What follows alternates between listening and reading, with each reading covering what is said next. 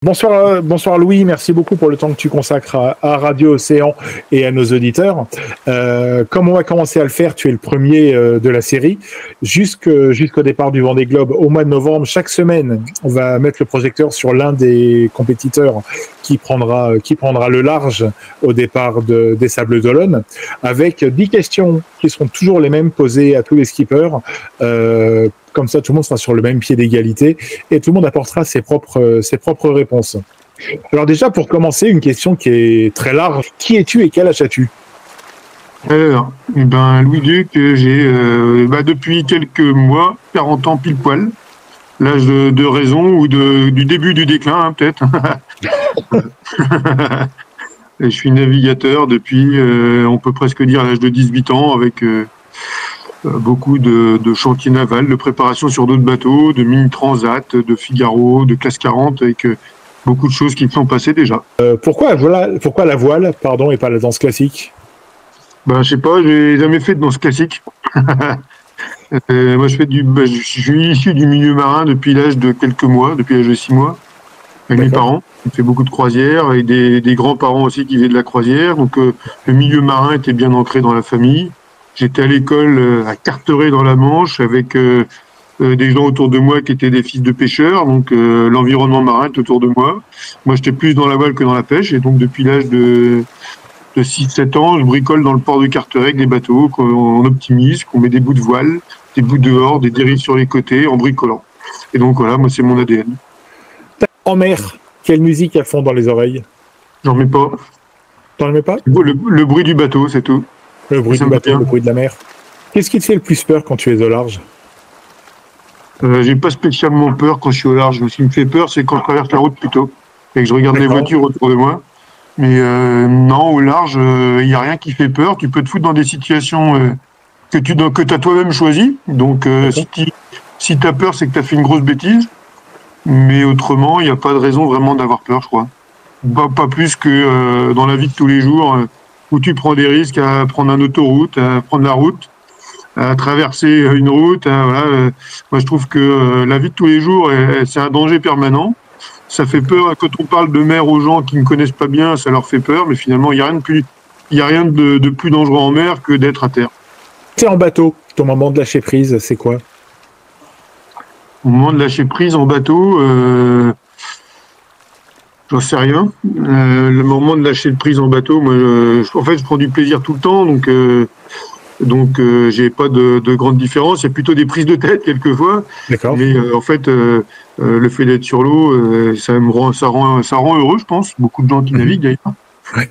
Donc voilà, moi, à partir du moment où je suis en course, t'as l'été tout le temps. En fait, c'est toujours pareil. C'est il y a la tension, il y a la pression des courses et il y a le fait d'être en mer. C'est deux trucs différents. Enfin, du coup, qu'on fait ensemble. Donc la pression de la course te met toujours un petit peu euh, dans le jus, dans la fatigue et dans le stress de la régate. Et en même temps, le fait d'être en mer est assez aussi quelquefois paradoxal, mais qui peut être reposant, peut être agréable et peut être aussi quelquefois euh, un peu longué aussi. Et c'est le but du truc, euh, de d'apprécier les très beaux moments. Est-ce que tu t'es déjà fixé une limite au-delà de laquelle tu n'as pas envie d'aller, qu'il s'agisse d'un âge, d'un certain nombre de victoires, d'une victoire en particulier? Pour l'instant, les victoires, c'est pas trop ce qui me caractérise le plus. j'ai fait quelques podiums sur des cours, des Jacques Vabre, des Trois anglaises ou d'autres choses. J'ai jamais eu d'accrocher une belle victoire. Euh, ce sera difficilement ni, ni et les, les, jours, les mois à venir parce qu'on ne part pas sur des bateaux très récents. Si on pourrait estimer faire, on pourrait espérer peut-être faire une victoire dans les bateaux à dérive, peut-être. Donc ça serait déjà une belle victoire si jamais on l'atteignait.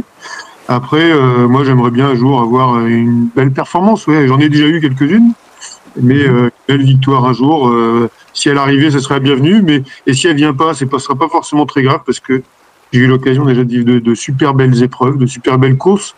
on a eu l'occasion de faire un bateau neuf en classe 40 un moment. J'en ai, j'ai participé trois fois à la route du Rhum, cette fois à la Transjacques Vabre, deux transats anglaises.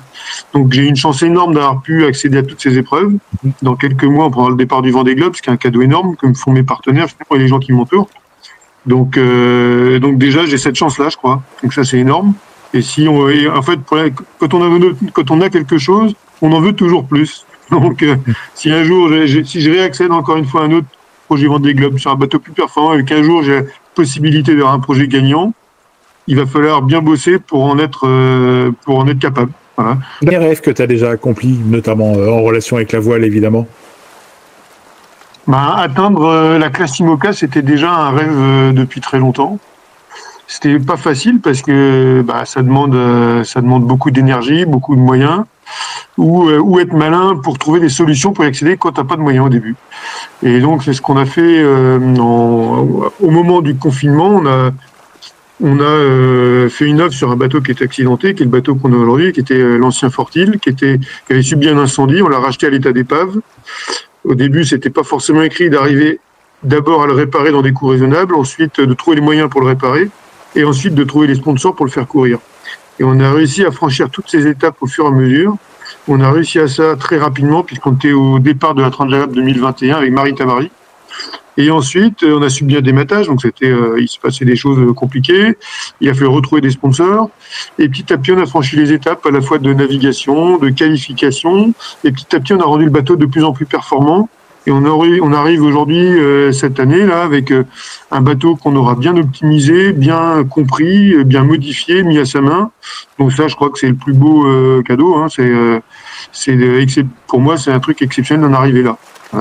Donc le fait de, de c'est déjà avant même d'avoir pris le départ du Vendée Globe, être au départ, ça a été une sacrée aventure. Et le prochain rêve que tu vas accomplir bah, Ça va de le faire, d'arriver à le boucler.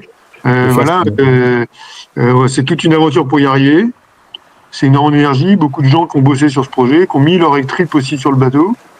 Et maintenant, le plus beau cadeau que je peux faire à tous les gens qui accompagnent, ben, euh, qui sont qui sont battus pour ça, ben, c'est d'arriver à, à, revenir au Sable d'Olonne sans escale euh, et, et en course. Donc voilà, c'est de boucler ce Vendée Globe. Je dirais que là, on va se battre bien sûr pour faire une belle performance, mais je crois que quelle que soit la, la place à l'arrivée du Vendée, si le bateau coupe la ligne d'arrivée, on pourra que être ravi pour tous les gens qui ont participé à ce projet. Lorsque ça va pas ou que tu as un petit coup de, baisse de morale, ton mantra pour relancer la machine, c'est quoi? Bon, ben, en général, ça passe vite ces moments-là. Hein. Il suffit d'un bon petit rayon de soleil et puis c'est réglé. Le moral en mer, il est toujours oscillant. Euh, il, va, il part très bas, il part très haut. Et puis, bah, moi, l'avantage, on n'a pas tous les mêmes tempéraments, mais l'avantage, c'est que ça passe assez vite. Et en général, un changement de situation, ben, fait que tu finis, tu passes du fond du trou euh, à, un moment d'euphorie, et c'est quand même assez souvent. Donc, euh, Quel conseil est-ce que tu donnes au toi âgé de 10 ans? Ben, Ça dépend ce qu'ils veulent faire. Ouais. Si euh, s'il y a des gamins qui ont envie de venir me voir, et pas forcément, parce qu'il y a plein de gens qui peuvent donner des conseils, mais s'il y avait des gamins de 10 ans qui viennent me voir en me disant on veut faire la même chose, ben bah, je, leur je leur dirais d'y mettre toute l'énergie possible euh, dès qu'ils peuvent. Hein. Limiter leur temps à l'école, parce que ça, ça sert à rien. et puis, euh, non, c'est toujours pareil, c'est en fonction de. Il n'y a, pas un conseil à donner à, une, à 10 personnes, c'est chaque profil est différent, et en fonction de ton profil, il y a un chemin à prendre. Voilà. Et donc, en fonction de ton profil, si euh, à 10 ans, tu es euh, champion de France d'optimiste, bah, il faut continuer là-dedans parce que c'est le haut niveau qui t'amènera à de la course large. Si par contre, tu n'es pas champion de France, tu es 50e ou 100e, ou même tu n'as jamais fait d'optimiste, par contre, tu es passionné par la course, bah vas-y en bricolant, en, étant autodidacte, et tranquillement, tu arriveras à tes objectifs. Donc, il n'y a pas un conseil à donner à un gamin, il y a, euh, en fonction d'un profil, il y a des, choix à faire. Mais surtout, il faut, faire les choses par conviction, plus que par, que par, euh, par commerce ou par... Euh, ou par salut François il vaut mieux faire les choses par conviction plutôt que, que les faire par communication ou parce qu'on m'a dit que c'était bien. Quoi. Soit poussé à faire les choses, il faut vraiment faire les choses par ses propres convictions, avec des gens qui t'entourent qui peuvent t'éviter de faire des grosses bêtises. c'est comme ça que j'ai fait. Il y a un gars qui m'a empêché de faire des grosses bêtises de temps en temps, c'est Alvar Nabir. Voilà. Ok. Et, euh, mais globalement, euh, ben, euh, pour arriver à ça, faut avoir quand même, faut être capable de faire quelques concessions. Mhm. Il faut être capable de mettre tout énergie. Quelquefois, ça marchera pas. Quelquefois, tu vas prendre des grosses claques. Et puis, petit à petit, ben, souvent, si tu as fait les choses intelligemment ou, ou tu as été honnête avec les gens qui t'entourent et puis les gens avec qui tu travailles, ben, globalement, souvent, tu peux arriver à tes fins.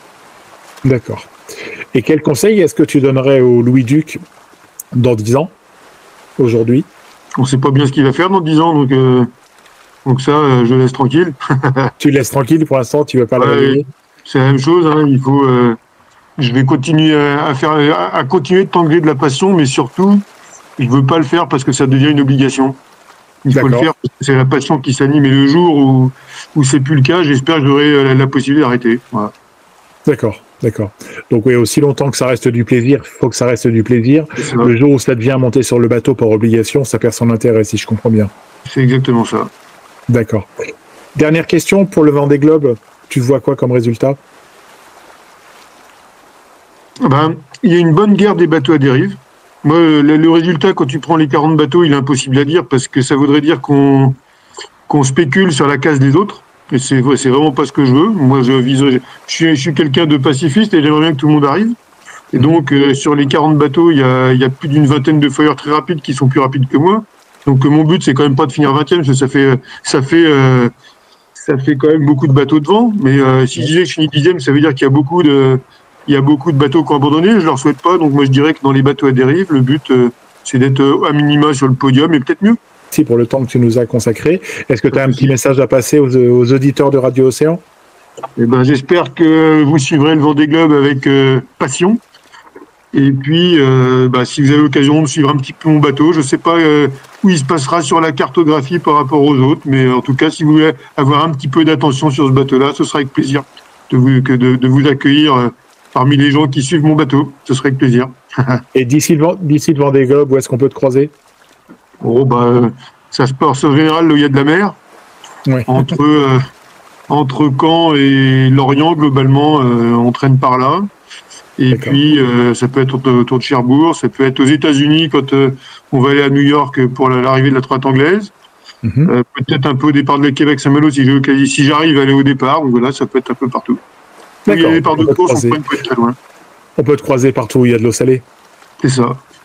Merci beaucoup, Louis. Je te souhaite une excellente soirée. Eh bien, merci. Et merci pour le temps que tu as consacré aux auditeurs de Radio Océan. Avec plaisir. Allez, bonne soirée Merci beaucoup. Au revoir. 40 skippers pour 40 semaines, c'est l'occasion une fois par semaine de faire la connaissance d'un des concurrents du prochain Vendée Globe